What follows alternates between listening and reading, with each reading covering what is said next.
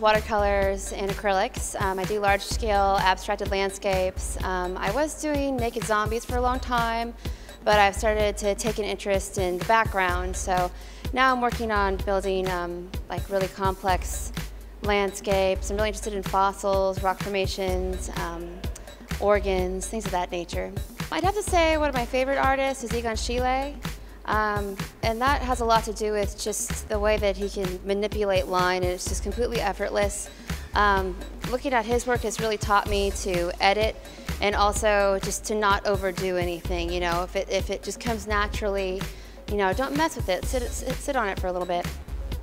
In five years, um, I'm hoping to have graduated from grad school. I want to go get my master's in painting and drawing because idealistically I'd like to be a studio art professor. I'm on Facebook at the moment, Bookface, um, but hopefully my goal is in six months to have a website up and running. But you can find me at Aubree Dale. My name's Aubree Dale and I'm a raw artist.